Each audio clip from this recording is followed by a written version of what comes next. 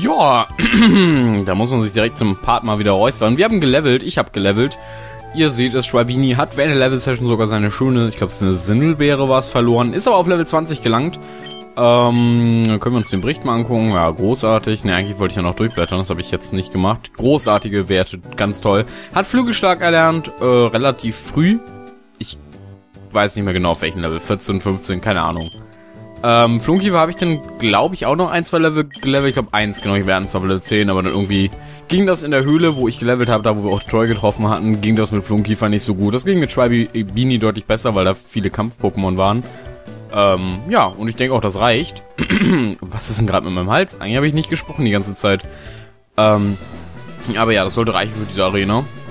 Ich denke, das sollte nur nur Arbeit sein von kurz mal den Orden abholen. Ja, abholen trifft es, glaube ich, ganz gut. Ich, ich, ich habe echt ein bisschen... Ich weiß nicht, ich fühle mich so... Kennt ihr das, wenn ihr, wenn ihr ja, mit der Spielserie ganz vertraut seid und irgendeinen Titel, den ihr zwar auch schon öfters gespielt habt, aber noch nicht so oft, den wieder rausholt, ihr fühlt euch also ich fühle mich gerade äh, so nix aus. Ich fühle mich total heimisch. Ich, es kommt mir alles irgendwie bekannt vor, aber ich fühle mich auch so, ich weiß nicht, so wie ein Kind. Ja, ich habe ein Kind geboren in die Welt gesetzt, das irgendwie nach einer, das habe ich mit, äh, keine Ahnung, mit fünf bis fünf Jahre großgezogen, dann kommt es irgendwann mit 30 Jahren wieder. So fühlt sich das gerade an, weil, weil es kommt mir alles so vertraut vor, aber ich habe trotzdem das Gefühl, dass da eine Entfremdung stattgefunden hat. Keine Ahnung. Ich, ich habe so ein ganz komisches Gefühl gerade, was dieses Spiel betrifft. Ein positives. Es gefällt mir sehr gut. Ich habe sehr viel Spaß. Gerade mit der Musik wird da einiges bei mir bewirkt derzeit. Ganz tief in mir. Jetzt macht er einen Potzer und sie wird garantiert einen Supertank einsetzen. Dann nutzen wir noch einfach, noch einmal einfach den Flügelschlag. Wie ich gesagt habe, Ah, das sollte dann sogar reichen. Das füllt die KP nicht ganz auf. Und wie ich vermutet hatte, ist einfach nur... Was? Warum macht denn das jetzt weniger? Nein, ich wollte Druckzug lieber einsetzen. Naja, gut. Wenn sie nochmal Trank einsetzt, das ist ja, das ist ja Gecheate. Das ist echt nicht nett. Jetzt, jetzt macht er wahrscheinlich noch irgendeinen Trick und gewinnt. Oder auch nicht. Ja, den Orden haben wir in der Tasche. War jetzt nicht der größte Akt. Wir sind ein bisschen überlevelt, aber es kann auch mal sein. Das hilft nur. Und damit ist Camillo besiegt. Uiuiui, ui, ui, du hast eine größere Welle produziert, als ich dir zugetraut hätte. Du hast mich absaufen lassen. Okay, du hast mich erwischt. Nimm den Orden dieser Arena. Warum macht der Wasservergleich? Er ist doch ein Kampfarena-Leiter. Na gut, er ist auch eine Insel, aber trotzdem. Irgendwelche Kampfvergleiche wären viel kreativer und neuer gewesen. Da kenne ich keine von. Vogel hält den Knöchelorden von Camillo. Also nee, ich glaube, ich kenne keine so Kampfsport an, Wortspiele. Dank des Knöchel äh, Knöchelordens werden die alle Pokémon bis Level 30 gehorchen, auch die, die du durch Tausch erhalten hast. Und du kannst die faulen Blitz auch außerhalb eines Kampfes anwenden. Und, wenn du magst, kannst du auch diese technische Maschine anwenden. TM08, äh, lass mich raten, Protzer? Ich weiß nicht, ist es Protzer? Ja. Keine Ahnung, woher ich das noch wusste. Diese Attacke hebt den Status des Angriffs und der Verteidigung. Cool. Wollen wir uns mal unsere Orden angucken.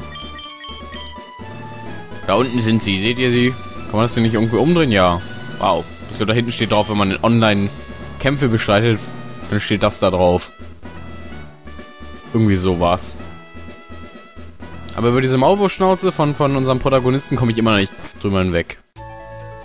Ich hatte gerade eine Erinnerung, dass Mike mich jetzt anspricht, sobald ich die Arena verlasse. Aber ich glaube, dass ich da im Kopf gerade bei Pokémon Gold war. Und zwar ich glaube, nachdem man den letzten, den Drachen, also den letzten, den achten Orden und den Drachenorden, ist da irgendwas mit Siegfried oder was beim siebten? Ich weiß es nicht mehr. Irgendwie hatte ich gerade so eine komische Erinnerung. Ihr kennt das vielleicht. Und dann versuche ich immer möglichst verständlich von mir zu geben, was ich da gerade in meinem Kopf, was ich da abgespielt hat. Ahoi, für dich segle ich zu jeder Zeit überall hin. Nun, mein Freund, wohin soll es gehen? Wir müssen noch nach Gravelport City. Da müssen wir ein Paket abgeben. Oh, jetzt habe ich nicht gelesen, was er gesagt hat. Anker gelichtet, Bäcker, mein Schatz, wir setzen Segel. Ja, aber wahrscheinlich nur so ein Seemannsgarren. Den muss man ja gar nicht ernst nehmen.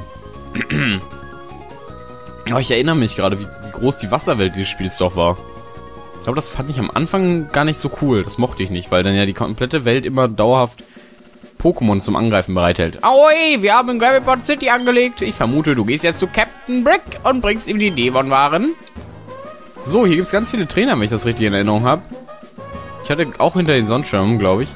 Wie wäre es, wenn wir es so machen, dass ich die einfach in der Level-Session fertig mache? Nein, okay, nee, ich hatte eigentlich keine Lust, im nächsten Part schon wieder eine Level-Session einzuführen. binden. Von daher, nee. Und später im Spielverlauf sind die wahrscheinlich zu schwach, als dass sie noch viele EP geben. Kämpfen mit mir? Machen wir es einfach jetzt, komm. Das ist harte Arbeit, das muss auch mal erledigt werden.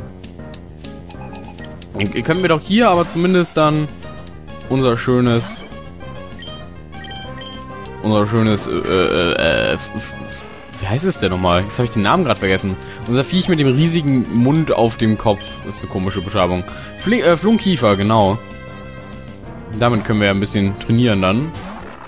Ist, glaube ich, eine ganz gute Idee. Der Sprite sieht echt cool aus von hinten. Also viel, viel cooler als von vorne. Wenn der so auch von vorne wäre. Ich finde das Auge sehr geil ge gepixelt. Das gefällt mir sehr gut. Ach genau, Flunkiefer hat Biss erlernt. Auf Level 11. Keine Ahnung, dieses, dieses Auge gefällt mir sehr gut. Das spricht mich sehr an. Wenn das Pokémon von vorne auch so wäre, hätte ich es wahrscheinlich auch öfter gefangen. Dann wäre es wahrscheinlich von hinten nicht mehr so cool. Und meistens sieht man es ja von hinten, wenn man es sich fängt. Ach man. Komm, triff einfach Schwabini, mein Freund. Mein Freund, mein kleines Vögelchen. Nein! Du dreckiges Mistviech. Kommst auf den Grill. Das ist komisch. Das ist ja, ich überlege die ganze Zeit, wie die Weiterentwicklung von Schwabini heißt. Ich weiß, dass die letzte Entwicklung Schwalboss heißt. Aber bis Level 20 hat sich noch nicht mehr entwickelt. Da gibt es doch aber noch eine Zwischenstufe, oder? Ich weiß auch nicht, wie die heißt, weil es gab immer... Ähm, bei Taubsi ist Taubsi, Tauboga, Taubos. Gibt es denn Schwalboga? Ja, Schwalboga, oder? Ist das richtig? Ich glaube schon. Ah, habe ich es mir gerade erschlossen. Schon gut. Ich kam auf den Namen. Man behält sich den ersten und den letzten Namen viel besser in Erinnerung. Weil der Anfangsname ist halt der, womit man es fängt und so. Und, und der Mittelname ist nur so eine Übergangsstufe. Die hat man halt nicht so lang. Die Endphase ist sowieso am längsten da. Ich frage mich gerade, wann Travini sich entwickelt. Ich habe da keinen, äh, keine Entwicklung abgebrochen. Also nicht, dass ich wüsste. Komm, da sollte ein Schnabel ausreichen. Das ist sehr effektiv. Ja, genau. Und Flunky erreicht Level 12. Auch das ist sehr, sehr schön. Monty ist besiegt. Ja, ein sehr eloquenter Geselle, dieser, dieser kleine Seemann. Ähm, dann tue ich mal Flunkiefer direkt nach vorne. Nein, das ist mein Beutel. Unter dem Pokémon. Und tausche diese beiden aus in ihrer Position. Kämpfen gegen das kleine Mädchen da. Warum denn nicht? Ich bin durstig. Ich könnte im Strandhaus etwas Sprudel kaufen. Oh, gibt es da etwa ein Item, das heilt, das sich Sprudel nennt? Das ist ja interessant. Und Zigzags. Zigzags kann, glaube ich, auch Surfer lernen. Warum macht das am Strand sogar, oder im Strand sogar irgendeinen Sinn? Oder kann es erst die Weiterentwicklung Geradax? Das weiß ich gerade nicht ganz genau. Mein Fenster ist jetzt inzwischen auch auf. Also zu dem Ventilator-Hintergrundstörgeräuschen kommen jetzt auch noch Fenstergeräusche. Ich, Ventilator hat man eh auch nicht gehört auf der Aufnahme, wie es mir schien. Von daher wird auch das Fenster jetzt wohl nicht mehr so einen Unterschied machen. Und es ist halt wirklich sehr warm. Was sehr schrecklich ist. Und, äh, Schwabini, könntest du jetzt diese Zickzacks bitte besiegen? Ich glaube, am Anfang, als ich das Spiel das erste Mal gespielt habe, fand ich Zickzacks schon irgendwie... Ich glaube, ich fand ihn cool. Aber es war so... Das Problem ist, man ist daran gewöhnt, dass die ersten Starter-Pokémon, die mir ist einmal halt ein Taubsi-Verschnitt und ein Radfahrt-Verschnitt. Und Radfahrt ist immer doof. Und der Taubsi-Verschnitt ist immer cool. Darum will man diesen Radfahrtverschnitt nie haben. Also bei mir war das immer so. Vielleicht bin ich auch ganz gemein und vorurteilen. Ich habe meinen Anker in vielen Häfen der Welt geworfen. Gravelport City ist der schönste Hafen. Aber ich glaube, ich fand dann Zigzags doch cool. Ich weiß aber, ich glaube, ich habe mir keins gefangen, weil ich halt echt so... Ja, das ist aber so ein Radfahrtverschnitt. Ich finde es zwar cool, aber... Ah, nee. Eigentlich ziemlich blöd. Aber ich war auch jünger, als das Spiel rauskam. Ich weiß gar nicht, wann kam das raus? 2000 und... Äh, 2002 kam, glaube ich, in Europa Pokémon Gelb raus. Ähm, dann kam Gold irgendwann. Gold kam, glaube ich, gar nicht so viel danach. Ich schätze jetzt mal, Pokémon Rubin Saphir kam 2005. Ich werde das kontrollieren. Ich habe die Box hier. Moment, ich kann ja weiterspielen dabei.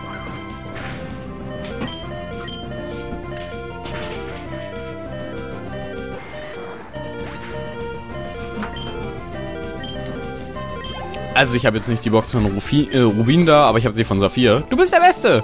Da sollte das ja auch draufstehen. Jetzt ist mir nur mein Mikro im Weg und versperrt mir das Licht so ein bisschen. Ähm, ich guck mal. Wo steht das? Game Freak 2003. Ja, 2003. Willkommen in die äh, malerische Höhenregion, wo dich kühne Helden, neue Freundschaften und hitz hitzige Wettkämpfe, ne, hitzige Kämpfe nur, nicht Wettkämpfe, dreist, hitzige Kämpfe erwarten. Starte eine steile Karriere, ja, wir wollen spielen. Okay, wir haben es verstanden, ich habe die Box hier, schön zu lesen, aber kann man auch lassen. Wer bist du? Wir brauchen ganz lange, um unsere Sandburg zu bauen. Das schenke ich dir. Oh, Pudersand. Danke.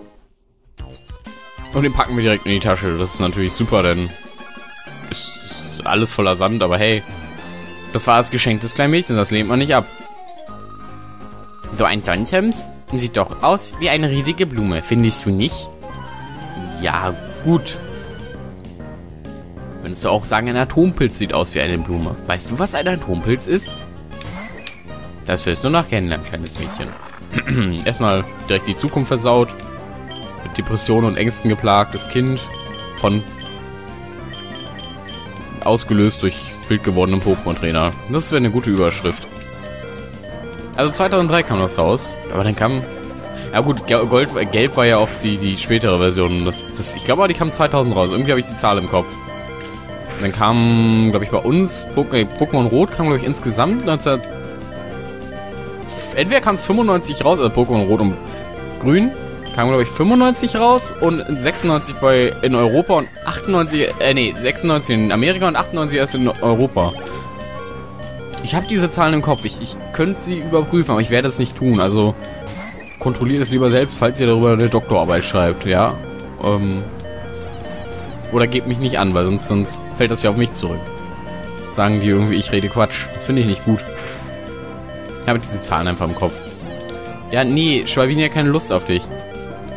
Der Angriff sinkt zwar stark, aber dann können wir hier den Rückzugpiep irgendwie ansetzen und dieses Piepen von Schwabinis Lebensleiste nervt mich. Wir gehen mal gleich unsere Pokémon heilen. Äh, oh, jetzt habe ich es übersprungen, was du gesagt hast. Es war mir auch egal, du bist nur ein kleines nerviges Mädchen. Wer bist du? Das Wasser in diesem Bereich ist sauber, aber ich sammle zusammen mit meinen Zickzacks den Müll am Ufer auf. Verschmutztes Wasser wird zu Regen und gelangt in die Flüsse, aus denen wir unsere Trinkwasser gewinnen. Verschmutzen wir das Meer, bekommen wir den Schmutz wieder zurück. Ja, das, das ist doch richtig. Gravelpot City ist also da oben. War hier nicht unter den Schirmen irgendwo noch jemand? Ich habe so eine Erinnerung, dass sich jemand unter den Schirm versteckt hat. Na gut, gucken wir erstmal ins Strandhaus. Wollt ihr auch kämpfen? Erst, dann drehe ich erstmal mit dem Mädchen da raus. Jo, Trainer! jo, Trainer! Seid ihr in Eile? Müsst ihr wieder vor Ort? Erfrischt euch doch an Papas Ort. Bist du ein Trainer? Na, ja, doch, okay. Langweilige Kämpfe lohnen sich nicht. Feurig heiße Kämpfe, aber stehlen Trainer und Pokémon. Ja, warum gebe ich mich dann noch mit dir ab? Egal, zeig mal, was du kannst, du. Eine Herausforderung von Schönheit Cordula. Na gut, wenn sie so heißt, ist halt ihre, Beruf, ihre Berufung. Da fühlt sie sich wirklich berufen. Andere sind Käfersammler oder, oder Angler. Sie ist sie Schönheit. Na komm, nehmen wir mal Reptin, der hat mehr Leben und ist hier auch viel effektiver. Obwohl, Goldini kann immer Schnabel, nicht? Und Schnabel ist sehr effektiv, weil es Flug ist auf Pflanze. Das hat mich schon voll oft genervt.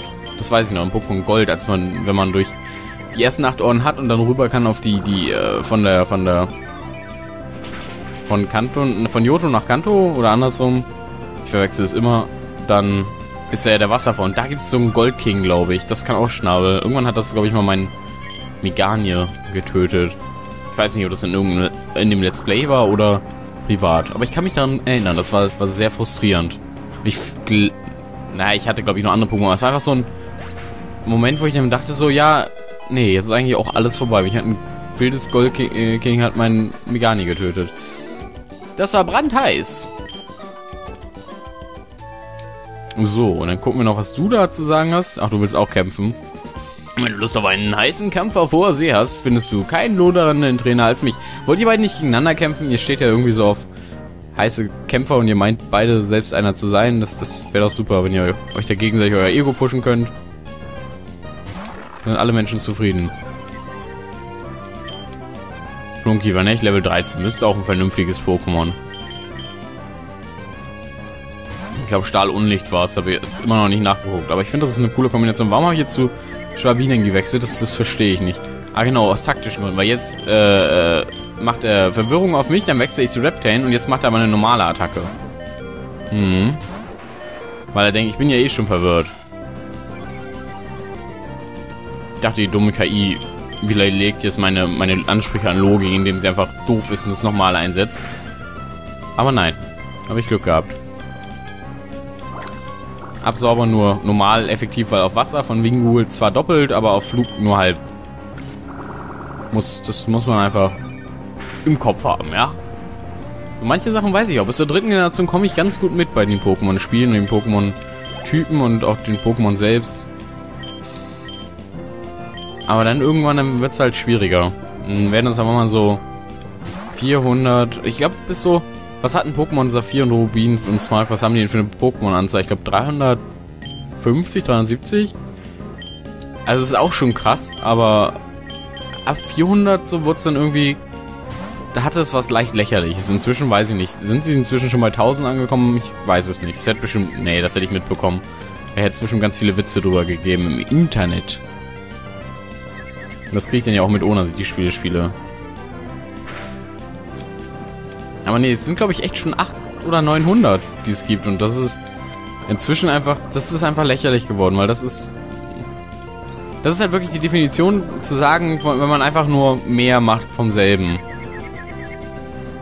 Weil das, das bringt mir dann auch nicht mehr Spielspaß und so. Also dann doch lieber mal die anderen Systeme vielleicht überarbeiten und, und andere Key-Mechaniken, die immer noch gleich sind seit den Anfängen und vielleicht auch mal Überholung brauchen, oder Aktualisierung, vielleicht einfach mal darum kümmern.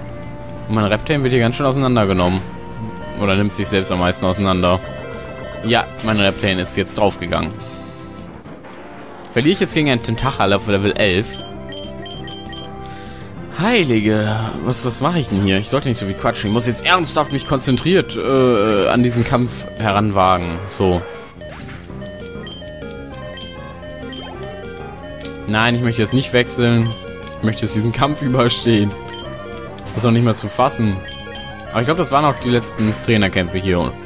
Dann können wir im nächsten Part dann direkt nach Gravelport äh, City gehen und da mal ordentlich erkunden und das Paket abgeben. Bei wem eigentlich nochmal? Irgendwem. Das war ein heißer Kampf. Ich kann die Niederlage verkraften. Ja, ich, ich kann es nicht verkraften, nur so knapp gewonnen zu haben. Ich bin der Besitzer des Strandhauses. Du kannst Mr. Mare zu Mare oder Mr. Mare keine Ahnung, zu mir sagen. Heißen Pokémon-Kämpfen. Hä? Heißen Pokémon-Kämpfen zu, äh, zuzusehen, liebe ich über alles. Zeig mir, wie heißt dein Loder, äh, dein Herz lodert. Wenn du alle Trainer besiegen kannst, werde ich dich belohnen. Hab ich doch. Ah ja, nur für diese äh, habe ich das Standhaus über, äh, geöffnet. Heiße lodernde Kämpfer wie mich. Hä? Ich hab hier doch... Ach, da unten... Oh Gott, das kleine Ding. Die mache ich jetzt noch platt, weil das geht... Das, nee. Ich werde dir zeigen, wie toll meine Pokémon sind, aber heul bloß nicht los. Wenn ich gegen die verliere, das wäre jetzt dann echt schon... Aber das, das kriege ich ja nicht überwunden da. Dass ich sage, da gehe ich nochmal ins Pokémon Center vor oder heile ich mich, um gegen diesen Knirps hier anzutreten. Das würde ich nicht, nicht hinbekommen. Das würde ich nicht mit mir selbst vereinbart bekommen einfach. So, Biss kann zurückschrecken lassen, Biss ist super. Ja, hat glaube ich so eine 20-prozentige Chance sogar oder so. Ich kann mich erinnern, Kopfnuss war früher in der zweiten Generation, glaube ich, voll krass, was das Zurückschrecken anging. Oder war das Kopfnuss? Ich glaube schon. Ich glaube, das war Kopfnuss. Die kriegt man doch im, im Wald nach dem zweiten Orden. Ich weiß nicht, wie er heißt und ich weiß auch nicht, wie der Wald heißt. Da, wo man halt das, das Sichlor einfängt und den Zerschneider bekommt, da, da kriegt man ja auch Kopfnuss als TM von so einem Typen, der gegen Baumhaut. Oder ich glaube, er bringt es einem, dem Pokémon bei. Eins von beiden. Wir werden es nie erfahren. Dann doch klar, ihr könntet mein Pokémon Gold Let's Play gucken. Das wäre eine Möglichkeit. Ihr könntet es selber spielen, ihr könntet es nachgoogeln. Also eigentlich war die Aussage, wir werden es nie erfahren, kompletter Schwachsinn. Darauf wollte ich hinaus. So, kriegt Flunkiefer hier nach zumindest ein Level ab. Und was wird unser Geschenk sein? Was wir vom Strandwart, äh, Strandwart da bekommen. Ja, ein Level up, Level 14. Das ist doch vernünftig. Ich habe verloren, aber ich heule nicht. Ja, gut so. Gut so. So, ich habe gewonnen. Du bist brandheiß, die Kämpfe glühen geradezu. Ich bin mehr als zufrieden. Du hast deine Fertigkeiten bewiesen. Zum Dank schenke ich dir etwas. Es sind sechs Flaschen Sprudel. Oh, das sind sechs, glaube ich, so irgendwas zwischen Trank und Supertrank. Sehr, sehr gut. Dann würde ich sagen, waren das tatsächlich alle? Nicht, dass ich hier Quatsch erzähle. Ja, dann geht's beim nächsten Mal los. Dann gehen wir hier hin. Stellen wir uns jetzt schon mal hier hin. und speichern. Das war Pokémon Rubin für heute. Ich hoffe, ihr hattet euren Spaß. Ich hatte meinen Spaß und äh, beim nächsten Mal geht's dann weiter. Ja. Tschüss.